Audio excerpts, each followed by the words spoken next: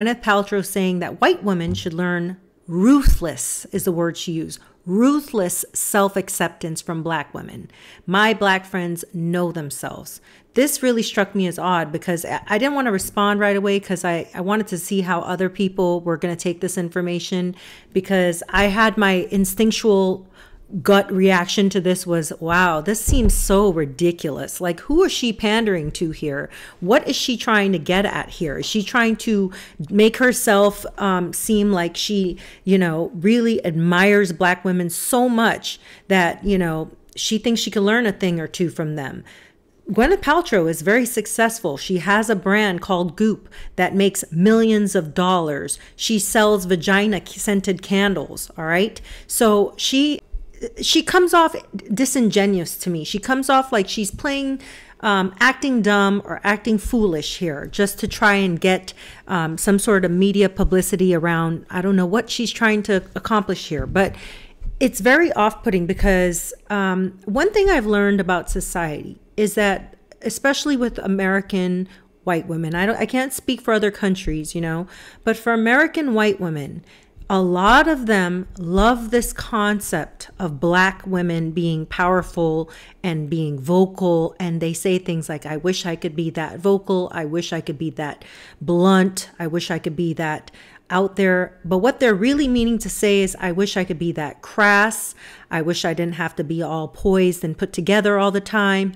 I wish i didn't have to walk on eggshells around my feelings and i could just say what i want and I know this. I know this firsthand because even I myself, um, as a woman that is, I'm, I'm mixed, right? I'm, I'm black, but I am mixed. Um, I do have other things in me. Sometimes I find it hard to um, connect with my black viewers. That's the best way I could put it, especially black women, because I feel they think you're not black enough. So you cannot talk like us. You cannot, um, you know, take on the role of um, black women, how we talk, right? Because there's a certain tonality to how black women talk. Let's just put it out there. I have uh, family members that are dark skinned and some that are light skinned. And I'm going to tell you, it has nothing to do with the color of your skin or how you look blonde hair, Gwyneth Paltrow with white skin. It's about the confidence that you exude when you're out there. White women in general don't need to be ruthless or anything to be heard. Black women sadly do. We have to be ruthless to be heard. On this very app and many other apps, and I think it has a lot to do with why people are genuinely genuinely scared that apps like TikTok will go away. TikTok is not as polished as other platforms. You can just come on here, you can put on a, a bonnet on your head. Nobody really cares. You cannot do that on YouTube. I mean, you can, but I can tell you how it will work out for you. Those videos are not going to get as much views as, say, a woman that is put together. She has her hair done, her makeup on, and she looks professional. And I can't urge this enough to, especially young black girls coming up. You got to look apart, right? You have to be able to have an image that you know is going to captivate enough people that you can do like what white women can do, right? They just show up and their voices are already amplified. It says here Gwyneth Paltrow, Hillary Clinton among white influencers sharing their platform to amplify black voices. I talk about this because, and I'm trying to put this very politically PC here. If I wanted to say what I really wanted to say, it wouldn't come off as sugar coated as this. But again, I'm a mixed woman. I'm black and mixed. Therefore, I need to come off like this, or else it'll put some people off. I'm trying to explain that your image, how you portray yourself out there, that's going to be the indicator of what you get, how much you get, and who's willing to work with you. Gwyneth Paltrow is not dumb. She said that because she is trying to prove a point that um, if she did, if she did get ruthless, if she did just start saying how she felt off the cuff, she would be vilified in the media for it. And I personally don't like that. I would prefer people just be themselves. Be yourself, and whoever resonates with you resonates with you.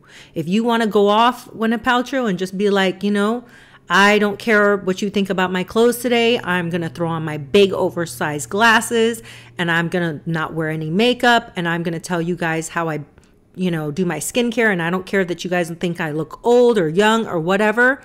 That would be wonderful because so many women out there are looking for um, women like you, like Gwyneth Paltrow in society to say it's okay. It's okay to get old. It's okay to, you know, be a mom. It's okay to be an actress. It's okay to sing. Whatever it is, they are looking for you to be that person. So you don't need to look any further. You don't need to look to black women to do this because you guys already are the ones, as they say here, amplify, amplifying black voices. So I would say just be yourself. And I'm definitely going to leave you guys with this because we all remember that image of, I think it was Je- Jennifer Aniston, but it was a party over last summer and it was a bunch of celebrities. And it was, when I say a bunch of them, I think it was, okay, I remember now. It was held by that woman, Kristen Bell. Um, you guys know who she is, right? She's an actress. She's been in The Good Place. Um, she's in Veronica Mars. Um, forgetting Sarah Marshall, you know the actress. And she posted this image, and I think it was of her and all her friends. And, anyways, it was nothing but white people. And one of the things I've learned over time dealing with people from, you know, the white community is that white people, especially white women, don't have a lot of black friends they really don't have a lot of black friends. They say they have black friends, but these are women that they work with because they have to. These are women that maybe, you know, came into their life through a brother or something that maybe, you know, start dating a Latino woman or a black woman or a mixed woman. And now they're forced into this relationship with a black woman. Sometimes it's just that, you know, they get around them and they have little conversations. And so now they consider themselves friends, but they're really not friends. The way I consider a friend is somebody you will call up to invite over your house for dinner, somebody that you invite to your um, weddings and Christmases, and that shares in your likes and dis- dislikes. You know, when you have friends, sincere friends will know that you don't go five, ten years and never speak you definitely are sending Christmas cards or you're calling them to check in or you're hey, you're on Facebook and you're commenting and having some sort of discourse with this person in a in a way that you don't feel that it's just superficial. A lot of these friendships in Hollywood are superficial. Gwyneth Paltrow saying my black women friends love themselves in a way white women don't. It's it's it leaves a bad taste in your mouth. And I know so many black women who are saying this. It's not just me. It's just like, what are you saying here? You know, what are you saying? You know? Anyways, if you guys didn't know about this, I urge you to go look up the comment. I thought it was very strange. I don't know if it was a PR stunt. If it was, it is a good one because it got us having a, a dialogue about this. But like I said, the takeaways here are you got to get you some black friends. You know, get your group a little more diverse. Anyways, have a great day. Think for yourself.